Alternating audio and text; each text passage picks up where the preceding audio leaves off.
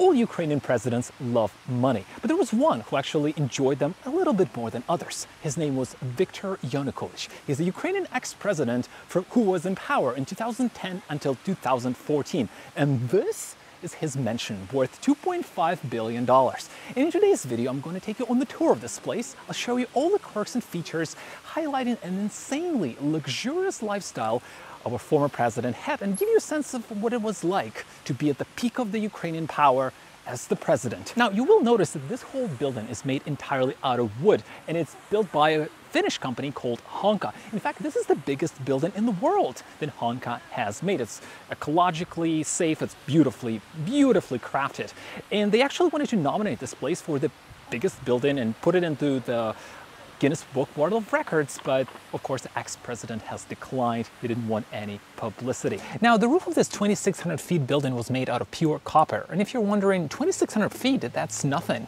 Well, keep in mind that this whole mansion was built for two people alone, His Majesty Ukrainian ex-president Viktor Yanukovych and his mistress. Now, Viktor Yanukovych wasn't one of the most patient fellows out there. He wanted this mansion to be built ASAP and no cost spared. So for full three years, German, Finnish, Ukrainian workers were running around like crazy trying to put it together.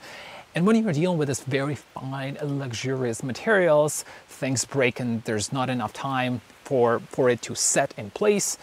And so the tale goes that the Honka heating system wasn't strong enough to cope with the winter, and so the temperature in the rooms wouldn't go above 16 degrees Celsius and our old president was left to freeze a little bit. Everything, literally everything in this mansion is made out of finest wood, marble, gold, you name it. This is one of the rooms you're greeted by coming from the back entrance. Our guide, Yulia, was one of the volunteers who started working here after Yanukovych fled the country and had so much knowledge about this place and tales illustrating the ridiculous amounts of corruption that this whole mansion represented. Let me tell you a brief history about this estate. So this whole mansion sits on the territory called Mezhyhirya, and it's a little bit smaller than the Principality of Monaco. Now, it is built by Soviets, of course, in Soviet times, and Soviets, they liked to create so-called packages for their party leaders to motivate them a little bit, and Mezhyhirya was under the item called dacha. And if you were a party leader in USSR, you had your life pretty much covered, and you, you were living the most luxurious lifestyle, well, USSR could offer. And Mezhyhirya later became a place where foreign delegations would be held, and later on, of course, was the private property of our fugitive president. This is a two-story mansion on one side and there are two additional floors from the riverside. But when you are president, you don't simply take stairs. You go for the elevator. There are not one but two of them in this building. This one is made by Otis, covered in beautiful tiles top to bottom. One of the many lobbies we enter here is made almost entirely out of wood. Here the president would relax for a moment after a busy schedule filled with bribes and keeping everyone quiet in the government. Chairs, couch, all costs hundreds of thousands of euros, all modern, made in Italy, not the antiques. This glorious floor is made out of 17 wood species and polished to perfection, of course. We were all asked to wear shoe covers. And this is one of the many, many bathrooms in this house where guests of the president would take a dump while feeling like Roman emperors. Bathroom fixtures come gold-plated as standard, of course. Yanukovych wanted to remind everyone with every little detail that his place meant the ultimate luxury, regardless of what activity you were performing. Next is the room where the president would be smoking expensive cigars and drinking whiskey, limited edition, obviously, and boasting how much power he has over everyone in Ukraine. Ceiling is a gentle reminder that sky is not the limit here, nothing is.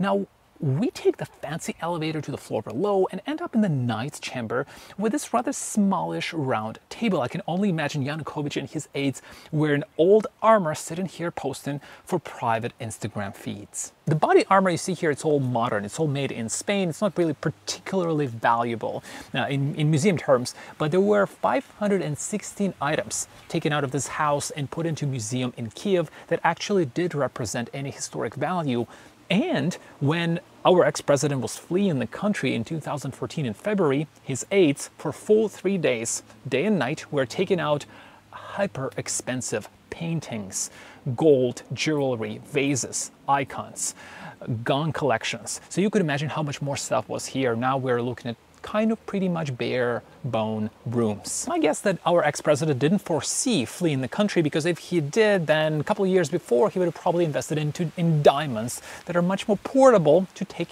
with you in chopper.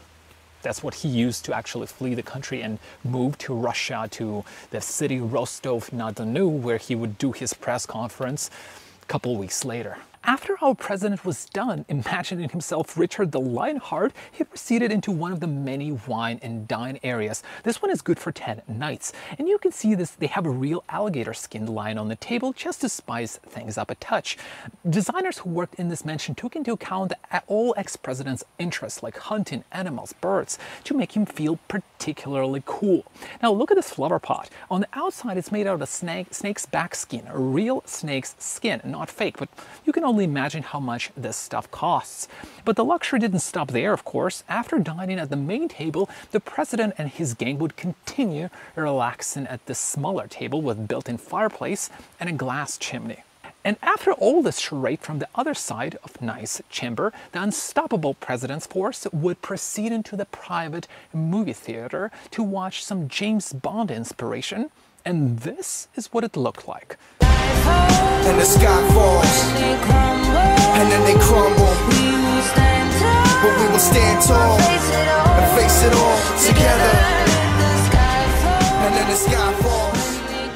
Now, keep in mind, this mansion was built in 2010, so TV you see here is like 80-inch Panasonic Plasma, probably the largest they had at that time. But there's also a projector for the days when 80 inches just wasn't cutting it for the president and his lover. Now onto the seats itself. They're made by a Japanese company Inada with built-in massage of course, assembled in China though. Now, I was told that the seats are made for male and female anatomy specifically, individually, to properly blanket you after a massive intake of expensive alcohol, of course. And there's an, yet another room where a president and his entourage would grab a cocktail after the movie.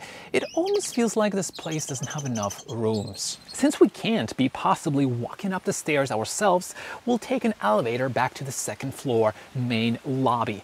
Ridiculously fancy everything covered in wood and more wood, with the main chandelier being worth around uh, get ready for it 900,000 euros made out of pure silver 550 pounds of silver to be exact, but the president apparently didn't like it in silver and ordered to paint it in gold to match his stature at that time. Now we're talking. Look at this little bird cages.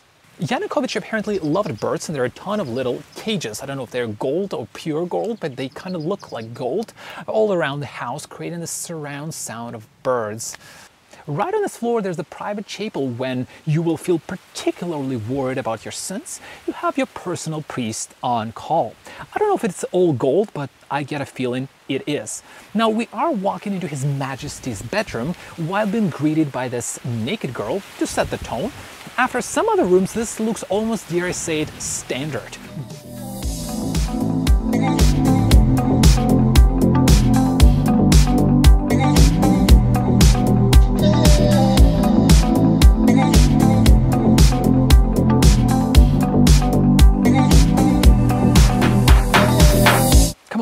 Get some fresh air. Here, you get to observe your little kingdom, almost the size of Monaco from high up.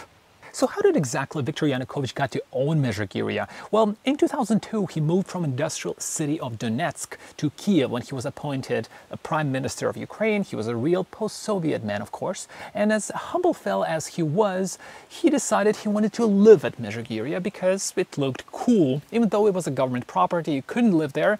But when you're a politician in Ukraine, nothing is impossible. Now, with the turn of events, there was a orange revolution, of course. The government changed and Viktor Yushchenko Yushchenko came to be a new president, with Yulia Tymoshenko was the prime minister, and, and Yanukovych actually lost his grasp on Mezhyhirya briefly. That was admittedly a low point of his career, but with the turn of events, a year later, he became a prime minister, came back, rented this estate again, And then later on in 2007, when he was leaving his uh, position as a prime minister, he, he didn't rent it out, of course, or extend his lease. He actually organized a sale from the government to himself, the company that he owned. And now he was a proud owner of 341 acres of land. That's a little bit smaller than 491 acres of Principality of Monaco. And that's how it became his property. But back to the tour. This is the bedroom of our ex-president's lover, who was a waiter, believe it or not, before striking gold and moving into a $2.5 billion mansion. Her portrait is on your left. With the exception of a few items, this room is not really that different from the president's suite. She had her own fishbowl, but who you'd surprise with that in this house? Wait before we look at the bathroom.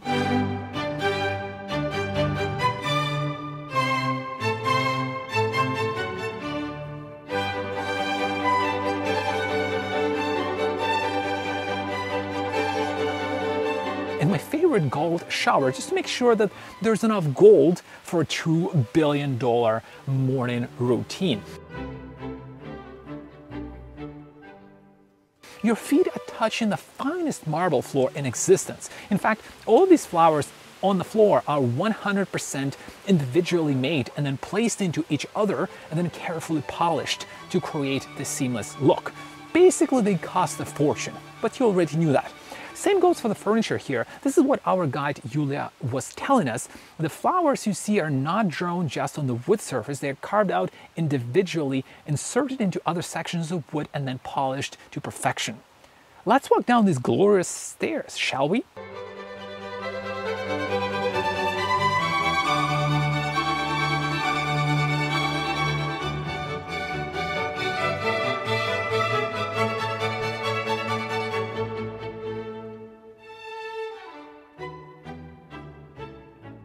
With this music, you can feel particularly presidential. The mini Versailles you see here continues everywhere. This is the main living room view from the top. The whole space is just enormous. Special note must be put towards the piano, Hyper Limited John Lennon Edition. I don't know exactly who was manufacturing it. We don't know exact pricing, but I was told it's around $1 million. And the last room I'll show you is the one with the fancy pool table thank you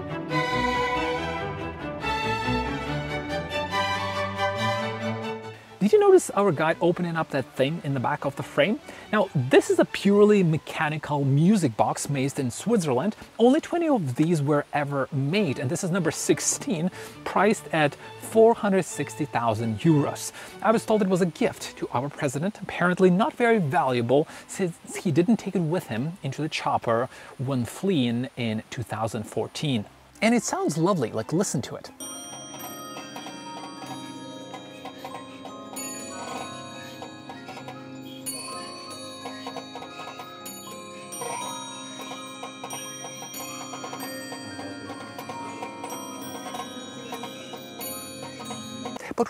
Can't possibly end the tour here. There's also a tanning bed in the wellness complex, private gym with a boxing ring. Ex-president didn't box, but boxes were brought here to perform for the king. Now, the other interesting item in this mansion is the air filtration system. Apparently, it pumps out air, cleans air individually for every room in the house, including individual levels of humidity to make sure the wood and all other treasures are well maintained. Uh, it also doesn't allow for dust to settle anywhere in the mansion, which is pretty crazy. Uh, it has seven levels of air filtration to make sure you're inhaling the cleanest of the clean. It's bettered only by level 8 of filtration, which is used at pharmaceutical factories. You could only imagine how much this thing could cost. But when it's not your money, to hell with it. And so this was Viktor Yanukovych Mansion. I hope you guys enjoyed the video. Let me know which room or quirk you liked. What was the coolest part of the video? I would love to know. Please leave it down in the comments below. Consider liking, subscribing the video for more videos like that. I'd really appreciate it. Thank you so much for watching, and I'll see you in the next one. Peace. За ветеранів. Так, Саша, ну що ти, налий мені, щоб мені соромно не було.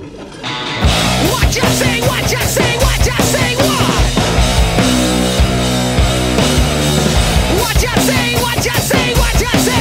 Остановитесь!